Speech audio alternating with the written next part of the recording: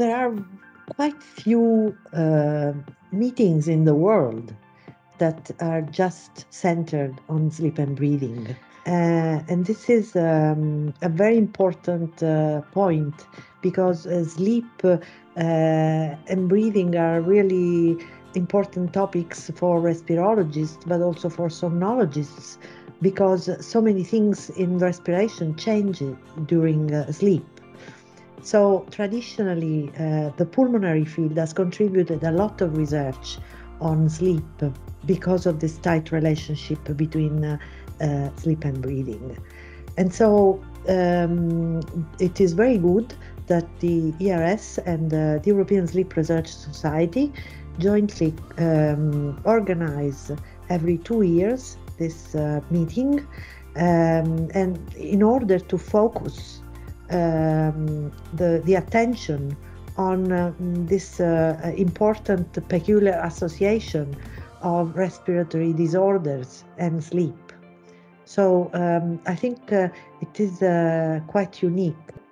Whoever is interested in sleep or breathing or both, especially from the respiratory field, uh, would take profit from uh, uh, this meeting because although uh, sleep is only a part of respiratory medicine, uh, it's actually a lot of our practical activities during the, our daily life.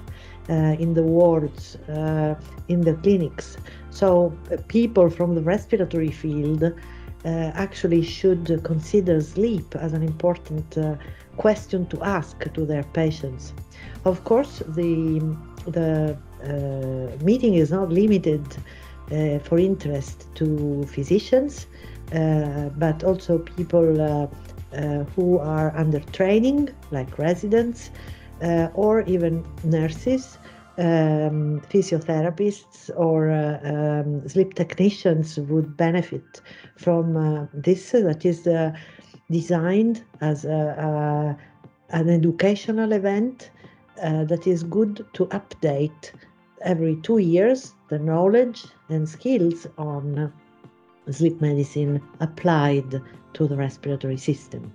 It is very important that we uh, conduct it in close collaboration with the ESRS because uh, our cousins dealing with sleep at large, so the European Sleep Research Society, um, contributes actively uh, not only to the respiratory field but also to, uh, to provide an update on non-respiratory disorders. Uh, and whoever um, practices in sleep knows that uh, sometimes we need um, to be oriented to get oriented to for other uh, sleep disorders that are non-respiratory. So it is um, really good to have the opportunity to focus not only on respiratory topics but also on non-respiratory topics.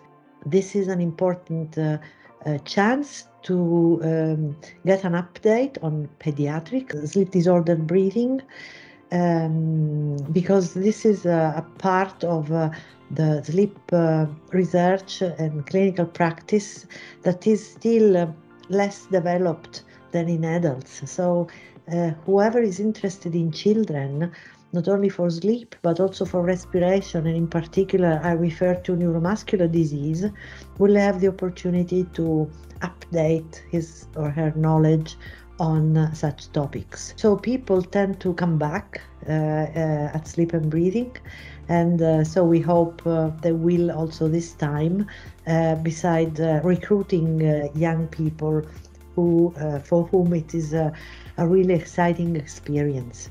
Um, because it is a it is a relatively short meeting, but it's very intense because it offers a wide variety of uh, topics um, of uh, clinical interest. So the purpose is mainly educational. The program is really appealing, and um, the meeting and the collaboration uh, with the um, with the ESRS is a guarantee that the top speakers on uh, the different uh, topics have been chosen and invited to give a talk at sleep and breathing.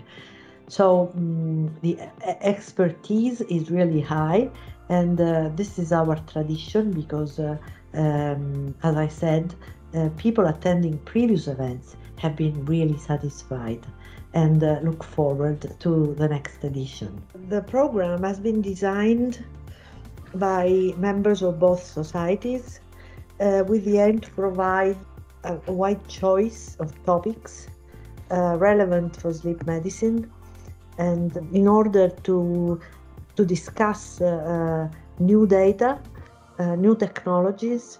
It's an update that is very useful also for people who do practice already uh, sleep medicine in the respiratory field. And similarly, I expect uh, it could be of value for neurologists who um, are not uh, uh that uh, updated on uh, res- the respiratory sleep medicine. The topics have been chosen um, among the traditional ones, but there are also, we always try to put in the program something new or particularly hot uh, in order to provide an up to date, uh, really relevant for clinical practice overview of uh, the entire field. Uh, I am personally very thrilled uh, at the idea of uh, seeing my colleagues, my friends again. This is not to say that from the educational point of view, the online program was um, was not good, but um, certainly uh, being uh, there uh, allows you to talk with colleagues, uh, compare things, talk about talks, uh, uh, sessions, even the day after. if you thought about it and you still have the people at hand so you can who gave the talk so you can it's more live and uh, it's also more productive uh, in educational terms, and this is I'm quite convinced of. Nevertheless, for those who cannot uh, or do not want to come to Prague, um, I think that the uh, possibility to see the online uh, program is also valuable. Um, at least from the educational point of view. The practical skill uh, workshops are usually very well attended and people are quite satisfied with the experience and that's why we we keep them and we keep, we keep doing them. Uh, also, I, I think that the other thing is that the ERS has turned towards a higher interest into clinical cases. So having uh, um, sessions that uh, come out of uh, uh, clinical experience. And so this makes the program really easy to catch in, in terms of interest for participants.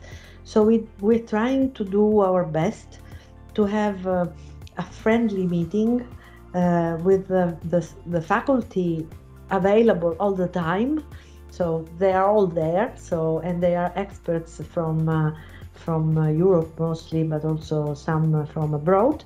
Um, and this is very important uh, because um, seeing people uh, live uh, makes uh, also making questions maybe easier. The sessions we have year in review sessions um, one for respiratory, one for non-respiratory, and one for pediatrics. So these are the three um, topics we cover. So uh, in order to uh, point the attention towards uh, things that have changed the the sleep world since uh, the last sleep and breathing. The another added value uh, of the live congress is the fact that young people can present their data and discuss them with uh, with experts uh, and have important input for their future work.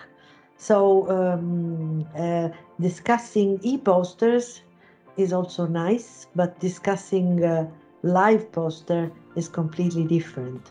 Also, the fact that uh, the the meeting is much smaller uh, compared to the ERS meeting allows a sort of familiar um, atmosphere that is um, good for science. I hope you will come numerous uh, and happy to the next uh, Sleep and Breathing Congress in Prague. Thank you very much and uh, see you there.